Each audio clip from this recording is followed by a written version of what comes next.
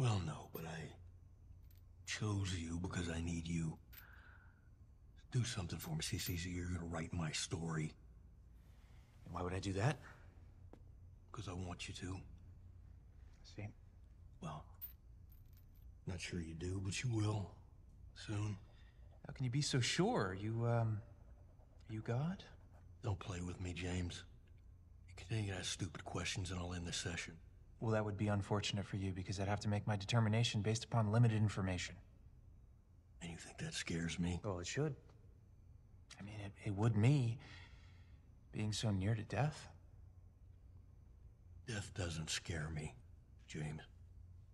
And why is that? Because I can't die. See, James, I'm a demon. Do you have a name? Of course, I have a name. Would you like me to call you by it? Depends. Do I call you James? I'd prefer Dr. Martin. Of course you would. It's my title. I, uh, I worked very hard to achieve it. And it preserves the nature of our relationship. We can do that. As long as you agree to acknowledge my honorifics well. Which is? Lord High Prince. I, um... I won't be doing that. Okie dokie. And since we're gonna be on a first name basis, I guess I'll allow you to use mine. Edward? No, it's merely the name of the host body. Shell which I inhabit. I no longer answer to it. The name my master gifted to me is in a Phoenician dialect that hasn't been spoken for 3,500 years, but I'll give you the nearest English equivalent, which would be Nefariamus.